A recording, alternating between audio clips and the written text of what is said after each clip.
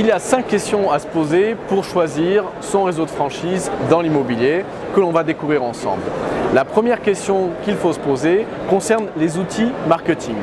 En effet, le marketing est primordial, il permet de toucher le vendeur et l'acheteur.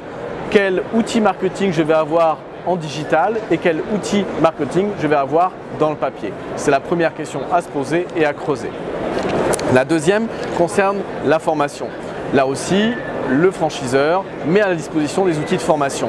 Il y a différents types de formation, la présentielle, la distancielle, quel outil je vais avoir en termes de e-learning, quel est le contenu des catalogues de e-learning, est-ce qu'il y aura des formations pour des débutants, des confirmés et des experts? Ce sont les points qu'il faut vraiment creuser lorsqu'on veut rejoindre une franchise.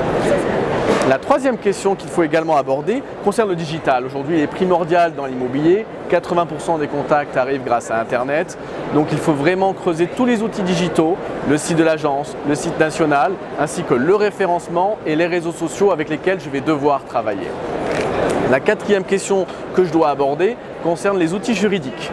Euh, juridiquement, je vais travailler avec des mandats, je vais travailler avec peut-être des agents commerciaux ou des salariés, donc il me faudra des contrats de travail.